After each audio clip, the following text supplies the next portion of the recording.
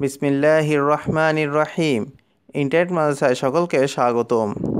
আজ আমরা কবরের আজাব দানকারী অজগরের সত্যতা সম্পর্কে জানব। হজরত আবু সাইদ খুদির রাজি আল্লাহ তালা আনহু বর্ণনা করেন, নবী করিম সাল্লাহ সাল্লাম এরশাদ করেছেন, অবশ্যই কবরের মধ্যে কাফেরের জন্য নিরানব্বইটি অজগর নির্ধারণ করে দেওয়া হয়। অজগরগুলো কিয়ামত পর্যন্ত তাকে দংশন করতে থাকে। এ অজগর এত বিষাক্ত যে, যদি একটি অজগর পৃথিবীতে শ্বাস ফেলে, তাহলে জমিনে শাক সবজি উৎপন্ন হবে না।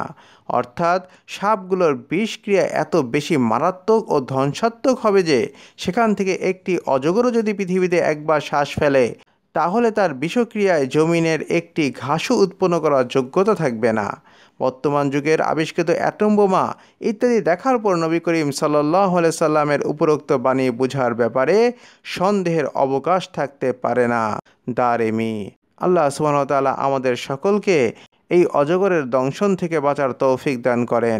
অমা আলাইনা ইল্লাল বালাগ। আসসালামু আলাইকুম ওরহমতুল্লাহি আবরকাতু